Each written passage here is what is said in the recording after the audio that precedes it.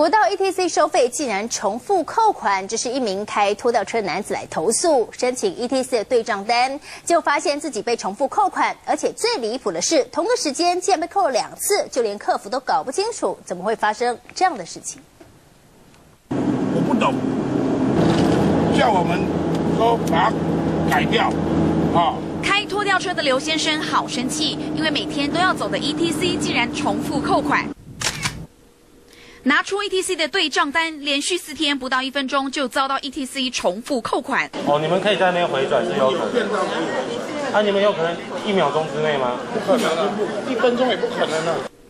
仔细看看账单，在九月十二号四点四十七分三十三秒到四十八分十四秒，一分钟内就被扣款两次。离谱的是，过了四十秒之后又被扣了一次。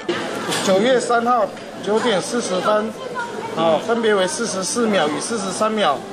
啊，扣账，同步扣账是十五两笔。嗯，除了一秒钟扣两次之外，还有更扯的就是九月五号三点十分三十三秒账单上同一个时间内还能被扣款两次，简直是不可能。哎，你是大货嘛，对不对？就是四十五号。啊，后面那一台呢？后面那一台。那有没有跟我们？门市人员居然还搞不清楚状况，账单印得一清二楚，但客服却说没这回事。但是我这边帮你看到，他九月五号那我你刚刚说的这个哎三点哎。正常来说是不会发生这样的事情，就对了。对呀。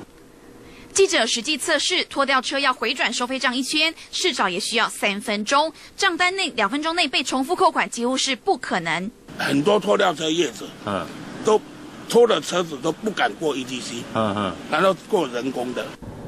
光是统计八月底到九月中的对账单，两分钟内重复扣款的次数就超过五次，而且钱都已经扣缴，但门市却说没有问题。国道救难拖掉车经常往返收费站，以前没去计算过，现在看到账单，直呼真的当了 ETC 的冤大头。追新闻和梦琪阿布斯新竹采访报道。